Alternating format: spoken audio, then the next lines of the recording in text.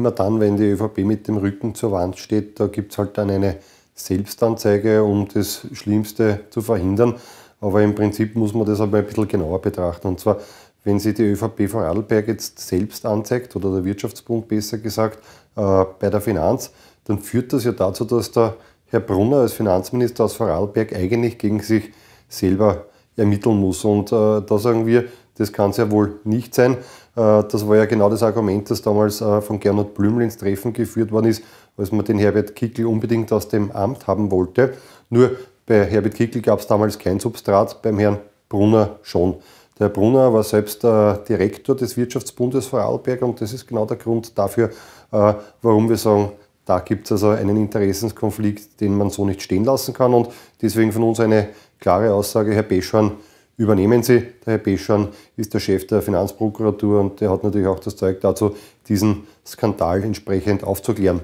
Wenn man sich anschaut, äh, was sich da gerade wieder äußert, und es vergeht ja kein Tag, äh, an dem wir nicht neue ÖVP-Skandale äh, zur Kenntnis bekommen, dann sieht man, dass sich dieses, diese korruptive DNA der ÖVP mittlerweile vom Bodensee bis zum Neusiedlersee zieht und das muss man natürlich auch entsprechend hintertreiben.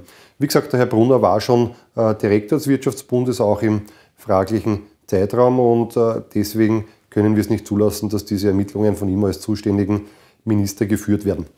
Das System der ÖVP haben wir mehrfach schon herausgearbeitet als sogenannten tiefen Staat. Man hat sich wirklich überall die Netzwerke zurechtgelegt, die man braucht, im Justizministerium, im Innenministerium und natürlich auch im Finanzministerium und deswegen gehört dort einmal entsprechend reine gemacht. Wir fordern, dass der Herr Pescham interimistisch jetzt das Amt des Finanzministers übernimmt.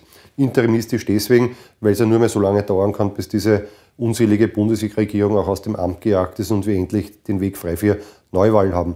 Was wir hier sehen, äh, ist ein schwarzer Faden, der sich mittlerweile zu einem schwarzen Abschleppseil zusammengesponnen hat. Und dieses Abschleppseil wird offensichtlich jetzt gerade dazu benutzt, die Bundesregierung dorthin zu bringen, wo sie hingehört, auf den politischen Schrottplatz.